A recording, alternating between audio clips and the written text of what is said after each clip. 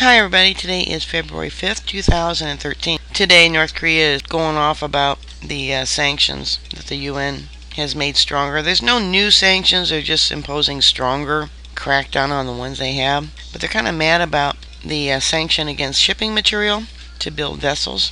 And I found this report. You might find it interesting. It's the ISIS report. And they have the latest satellite imagery of North Korea's Punggye-ri nuclear test site.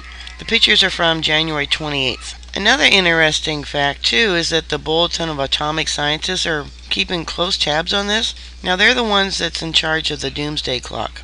They decided to leave the clock five minutes to midnight because they feel that the world leaders are being distracted by economics instead of more important things, which they say is climate change, nuclear weapons, and they talk about greenhouse gases. Well, you can look at Beijing. They actually had to close their airport because of air pollution.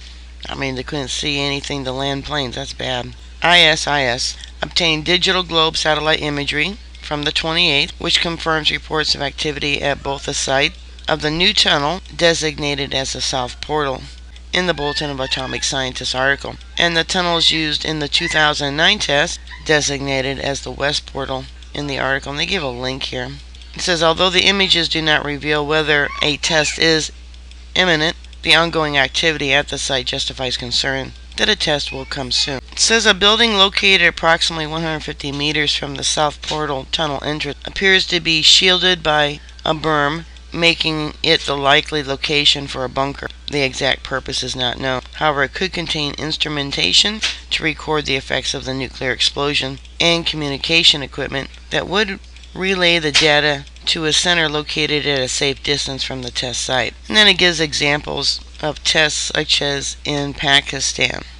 At the west portal, the 28th image shows activity at the tunnel entrance. It suggests that some kind of traffic has been going in and out of the tunnel. It says the road leading to the 2009 test tunnel shows signs of consistent traffic, as suggested by the lack of snowfall within the perimeter of the site connecting access road. It says it also appears that they seem to be taking steps to keep the west and south portals accessible. Extensive flooding damaged bridges leading to the west and south portals during a September 2012 storm. Um, North Korea repaired quickly. So here's a few of the images that they're showing. I'll give you a link so you can go there and study it more. Here it's showing the roads and the lack of snow indicating um, lots of use. You can see in the parking lots too. Lots of use, or if you want to call it a parking lot. You can see buildings that don't have um, tracks that's showing use. It also gives examples here of a instrumentation bunker from Pakistan and, sh and showing how it was camouflaged. They're doing that too there in North Korea. Here they're showing where the electrical cables are run. Here they're showing the rebuilt bridge building showing signs of recent activity where the west portal entrance is at. The fence for security. It says here a support building, east portal, suspected 2006 nuclear test site.